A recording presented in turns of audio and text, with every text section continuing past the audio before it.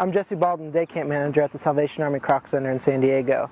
I just want to take a minute to give you a glimpse in the life of day camp and the camps that we offer here.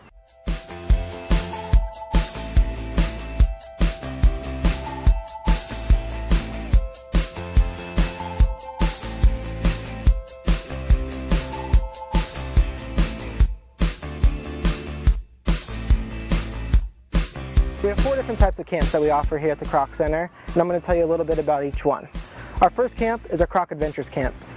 These camps are a traditional camp offering that we have, and we do a little bit of everything here at the Kroc Center.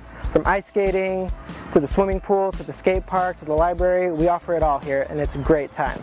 Our next camp we have is our sports camps.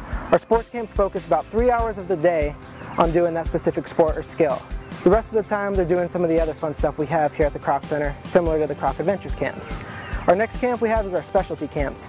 These camps offer stuff that campers are interested in, such as dancing or cooking or drama camp. The next and our final camp is our spiritual discovery camp. These camps go with the mission of the Salvation Army, which is to preach the good news of Jesus and to meet human need without discrimination. They do a little bit of everything similar to the Kroc Adventures camps. However, they also do daily chapel and huddle times.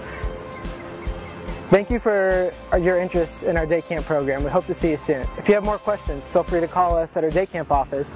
Number is 619-269-1470. You can check us out online at sd.kroccenter.org or check out our Facebook page to see pictures and videos of what we have to offer here at camp.